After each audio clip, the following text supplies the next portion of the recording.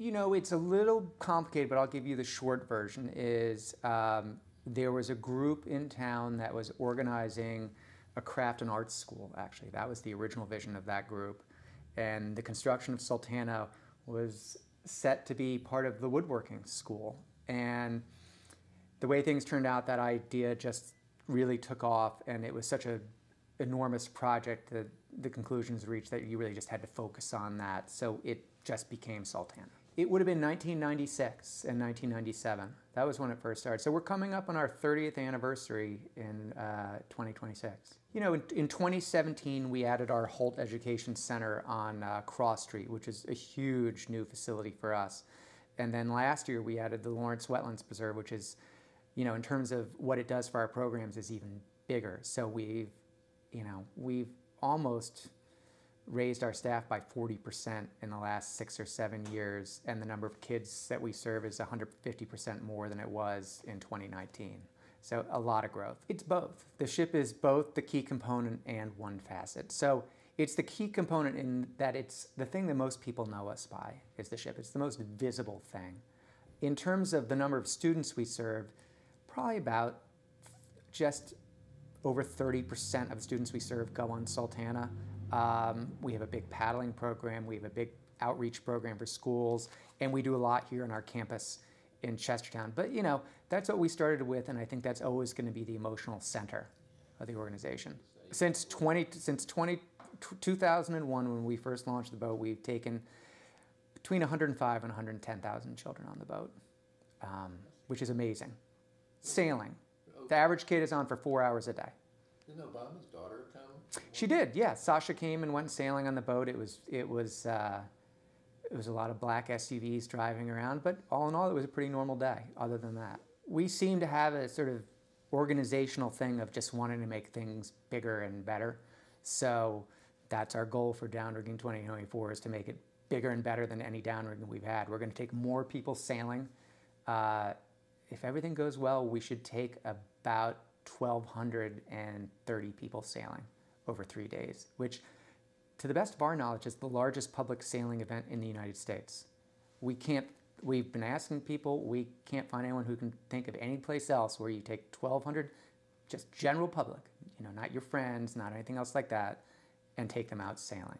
So that's just like Sultana is the heart of our organization. Downrigging, the heart of downrigging is the tall ships that come, and we have a lot of regular faces, but we have some new boats. We have a cool new boat, Bloodhound, from coming down from Massachusetts, which is a replica of a, I think it's an 1874 racing boat from Scotland. I mean, it's just awesome.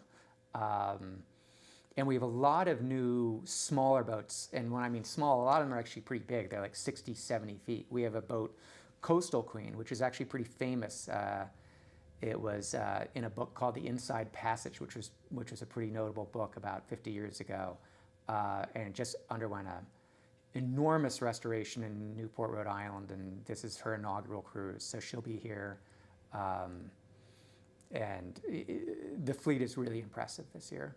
You know, the, the, the, weekend will unfold largely as it has. We'll have tall ship sails on Friday, Saturday, and Sunday.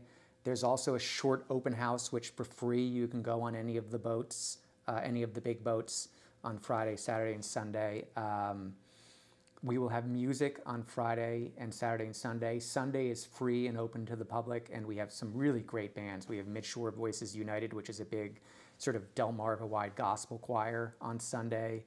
Uh, we also have the U.S. Navy band Country Current, which are top notch performers. Um, I'd say that two other bands really of note. On Friday, we have two singer songwriters from Nashville, uh, Wendell Mobley and Lee Thomas Miller and between the two of them, they've written 17 number one records for like Carrie Underwood and Kenny Chesney and Rascal Flatts. I'm not a huge country music fan, but I even recognize the songs. And people who like country music know all of their songs. Um, I was fortunate enough to have an opportunity to see them play last year. And whether you like country music or not, they are phenomenal, talented people who are also absolutely hysterical. Half of it is them telling stories about why they wrote each song. So that's going to go longer. That's going to be a two hour thing on Friday night. And that's different, and we're really excited about it. And then on Saturday, we have the Gibson brothers who have won They really are the quintessential American bluegrass band. They've won pretty much every single bluegrass award that you can possibly win over 17 years and have played with everybody. Um, we feel incredibly fortunate to grab them. Just circumstances lined up that we could get them.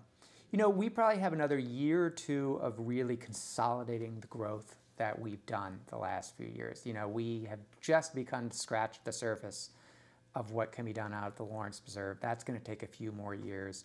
And even with the Holtz Center, we're still really building out new programs there. Um, so, you know, in that time frame, one or two years, we really are quite clearly mapped out. I think the next question for us beyond that is do we want to keep increasing our service area? We really have, you know, at this point, every student in Kent County from pre-K through eighth grade, we see them every year. It's kind of amazing.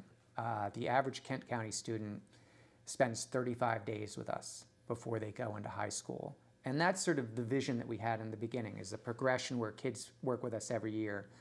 You know, our next discussion will be how much further do we push that with Queen Anne's County and Talbot County and Dorchester County and Caroline County, which are the other counties we serve. By the time people see this, there are going to be very few tickets left to sail on the boats.